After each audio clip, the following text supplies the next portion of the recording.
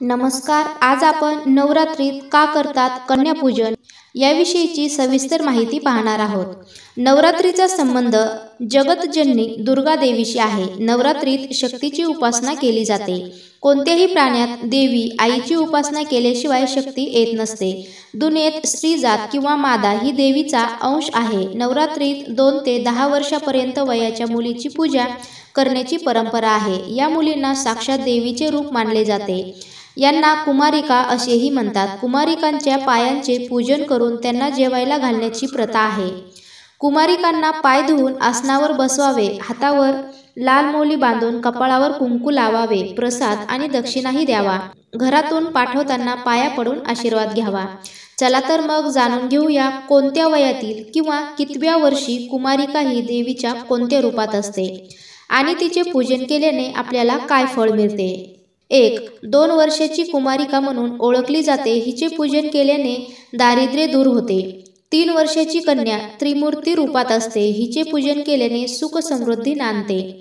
चार वर्षाची कन्या कल्याणी असते. हिचे पूजन केल्याने घरात कल्याण होतं.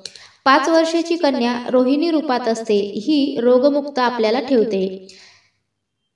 सहा वर्षाची कन्या कालिका रूपात असते. हिचे पूजन केल्याने राजयोग प्राप्त होतो. सात वर्षाची कन्या चंडिका या रूपात असते. ही ऐश्वर प्रदान करते. आठ वर्षाची कन्या सांभवी रूपात असते. हिची पूजा केल्यामुळे विजय प्राप्त होतो. नऊ वर्षाची कन्या दुर्गा देवीचे रूप असते. ही आणि हिचे पूजन केल्याने शत्रूंचा नाश होतो.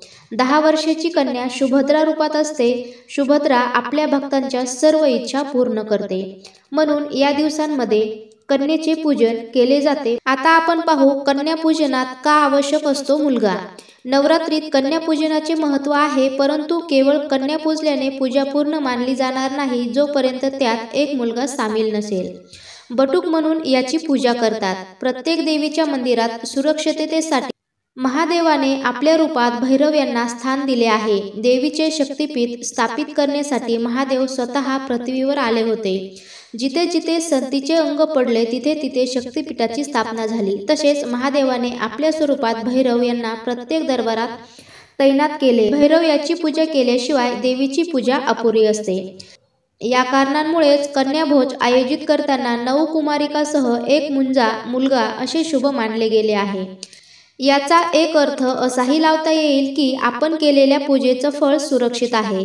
आपलं पुण्य इतर कोणाच्या पदरी न पडता आपल्यालाच प्राप्त होईल. म्हणून देवीच्या पूजेचं फळ वाईट नजरेपासून वाचावे अशी इच्छा असल्यास कुमारिकांसोबत मुंजालाही म्हणजेच एका मुलालाही भोजनास निमंत्रण द्यावे आणि यथाशक्ती पूजन करून कन्यापूजन करावे. अशा प्रकारे फ्रेंड्स नवरात्रीमध्ये कन्यापूजन का करावे आणि कन्यापूजन करत असताना एक मुलगा का आवश्यक असतो याविषयीची सविस्तर माहिती आपण पाहिलेली आहे.